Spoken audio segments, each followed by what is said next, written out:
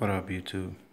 I'll bring out a video showing you how to get your stock Samsung music app back onto your Galaxy Note 7. Gonna go ahead go into your menu. Go to your Samsung apps. Go to your Galaxy apps. And you see a bunch of stuff over here. Just gonna scroll to the right, exclusives, and these are like your top-notch apps, and even more if you want. So we're gonna go ahead and download this. Install.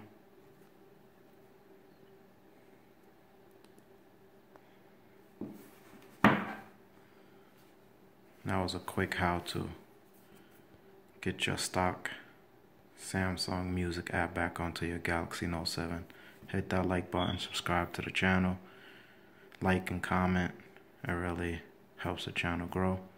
And uh, peace.